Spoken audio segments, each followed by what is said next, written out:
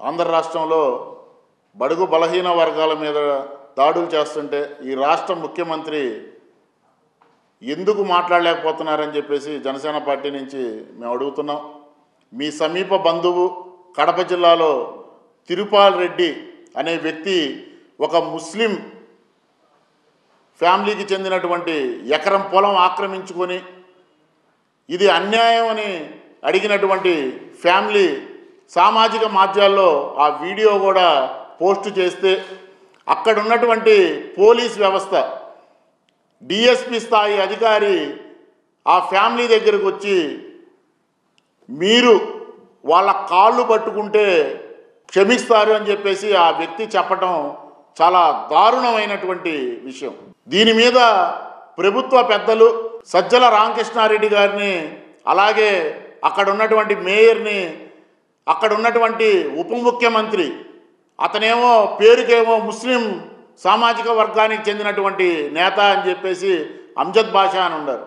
మరి ఆయన సాటి ముస్లిం కుటుంబానికి అన్యాయం జరిగితే ఎందుకు ఆ కుటుంబాన్ని కలవలేకపోయారు?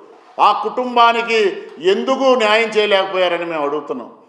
మరి సామాజిక వర్గంలో పుట్టినప్పుడు మీరు న్యాయం చేయాల్సినటువంటి బాధ్యత ఉంది. మిమ్మల్ని మైనార్టీ నాయకుడిగా గుర్తించి ఈరోజు ఈ రాష్ట్రానికి ఉప ముఖ్యమంత్రిని చేశారు. మీరేం చేస్తున్నారు? జగన్కి చక్క భజనలు చేస్తున్నారు. సామాజిక వర్గం మిమ్మల్ని ఎప్పటికీ క్షమించరాని తప్పు మీరు చేస్తున్నారని చెప్పేసి అంజద్ భాషాని మేము అడుగుతున్నాం. దుల్హన్ పథకం రద్దయినప్పుడు మీరు మాట్లాడరు. కడప జిల్లాకు వచ్చి పవన్ కళ్యాణ్ గారు నష్టపోయినటువంటి ఆత్మహత్య చేసుకున్నటువంటి కౌలు రైతులకి లక్ష రూపాయలు పరిహారం ఇస్తుంటే పవన్ కళ్యాణ్ గారి మీద అవాకులు చవాకులు పేలుస్తున్నారు.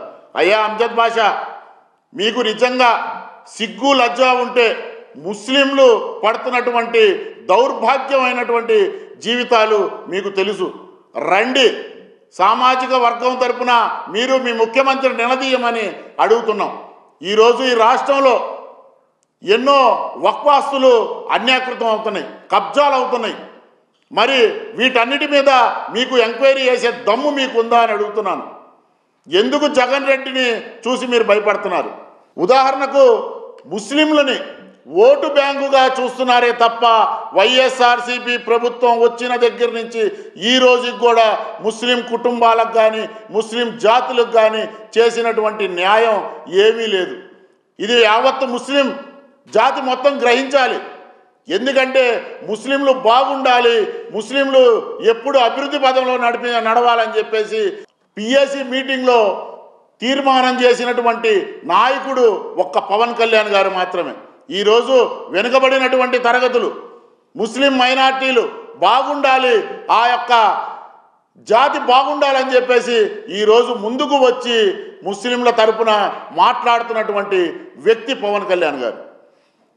నంద్యాలలో వంద కోట్ల విలువైనటువంటి వక్ఫ్ ఆస్తులు అన్యాకృతం అవుతుంటే వాటి గురించి మీరు మాట్లాడకుండా విజయవాడలో జరగబోయే వక్బోర్డ్ మీటింగ్లో డీఫై చేసి అమ్మటానికి సిద్ధపడుతున్నారు. మరి దీని వెనకాల మీ హస్తం ఉందని మేము అనుకోవాలి? మాకు చాలా అనుమానాలు ఉన్నాయి అలాగే నంద్యాల కేంద్రంలో ఎస్బీఐ కాలనీకి చెందినటువంటి సర్వే నెంబరు ఇరవై రెండు వేల రెండు వందల తొంభై తొమ్మిది బై టూలో నాలుగు పాయింట్ డెబ్బై ఐదు ఎకరాల మంజూరు ముజావర్ ఖాజీ ఖాసిం మొయినుద్దీన్ పేరిట ఉన్నటువంటి రికార్డులు చెప్తున్నాయి మరి ఇదంతా ఇనాం భూములు. వక్బోర్డు పరిధిలో ఉంది.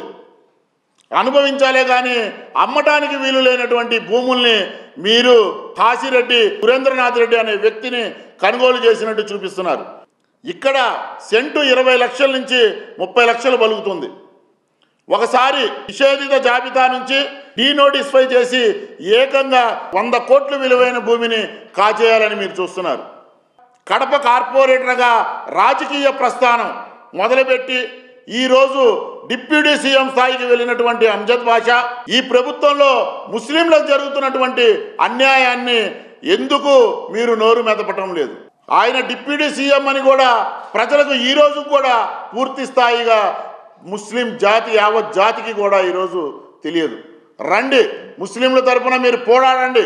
మీకు నిజంగా సిగ్గు లచ్చుంటే మీరు ఐదు పూట్ల నమాజే కనుక చేస్తుంటే అల్లా తరపున మీకు విశ్వాసం ఉంటే ఈరోజు ముస్లింల తరపున పోరాడాల్సిన అవసరం ఎంతైనా ఉందని చెప్పేసి అమ్జద్ బాషా గారిని అడుగుతున్నాం. ఎందుకంటే అల్లా ఒకే మాట అంటాడు ఖురాన్లో ఒకటే ఉంది న్యాయం వైపు నిలబడండి మీ అని చాలా క్లారిటీగా ఖురాన్లో చెప్తారు. మరి మీరు న్యాయం వైపు పవన్ కళ్యాణ్ గారి వైపు నిలబడతారా?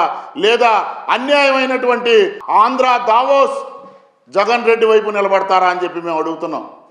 దయచేసి ముస్లిం సమాజానికి ముస్లిం జాతికి అన్యాయం చేయొద్దని చెప్పి అమ్జద్ బాషా గారిని తీవ్రంగా హెచ్చరిస్తున్నాం.